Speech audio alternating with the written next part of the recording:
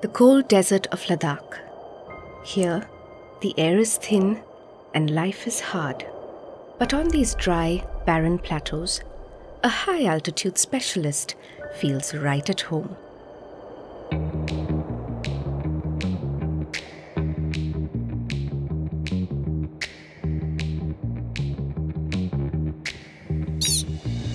The Ladakh Pika.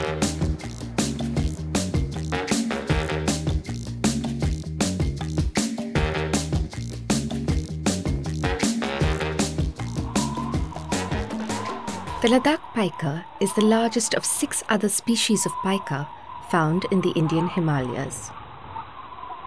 All thrive in high altitude, and some live as high as 6,000 meters.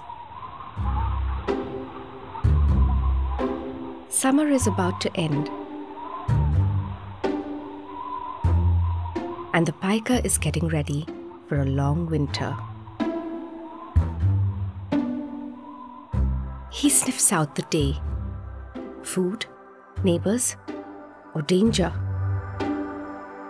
Pikas are essential to the food chain as they form the staple diet for bigger predators.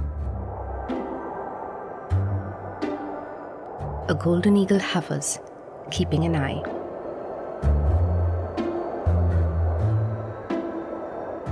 Winter on these high plateaus can weaken the strongest many mammals choose to hibernate or migrate. But the fast metabolism of the pikas keeps them active. So summer is about making provisions. Grasses, flowers, and stems are dried and stacked into hay piles to eat during sub zero temperatures. The barren winter is near, and her neighbor wants the stash.